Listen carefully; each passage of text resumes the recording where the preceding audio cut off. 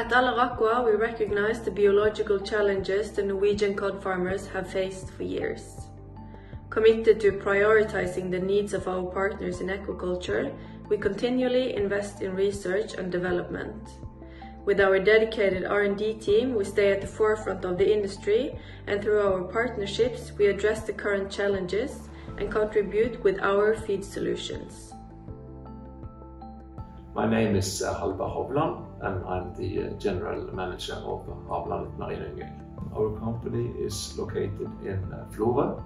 It's the westmost country of Norway. I've been working with cod for more than 20 years and uh, we have been developing a breed that is called the Havlandet breed, which now the um, industry in Norway is basing their production of uh, cod upon.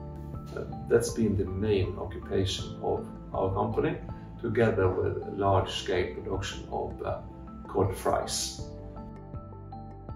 So as an industrial player, we have, uh, together with Aller Aqua, uh, gone into a strategic long-term collaboration in development of, of cod feeds. Uh, Havlandet knew uh, Aller as um, skilled uh, player in um, producing um, aquaculture feed worldwide, lot of species, high quality of, uh, of raw materials. Um, we, um, when we saw that Aller Aqua wanted to go more in for cod into the Norwegian market, it was uh, a perfect match for, for us. It is uh, Havlandet and Aller's belief that um, the feed development focus on cod and the first 20 years of, of breeding has not been um, intensively worked with. This is a result of the cod industry, of course, struggling in the, the early years and volumes being, uh, being, being low. But now when the cod industry is starting to really move again and based upon new uh, genetic um, properties, uh, Aller and, and Havlandet do believe that there is uh, a work to be done now to, to um, tailor-made uh, feed for the genetics we have today.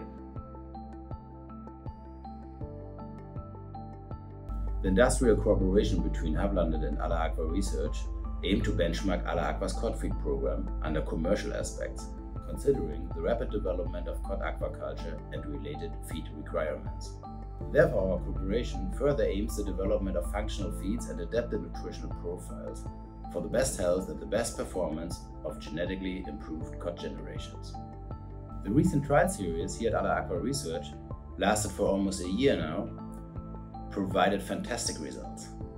We can see improved growth rates, improved FCRs, lower mortalities, and of course, a significantly reduced level of deformities, spinal and jaw deformities, as well as almost no inflammatory responses in the intestine.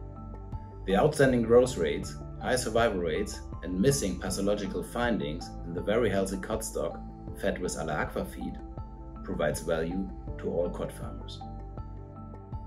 Based on that, to leverage the potential of our feed program and to follow the development in the market, we are going to continue the cooperation with Havlandet in Norway and at Aller Aqua Research.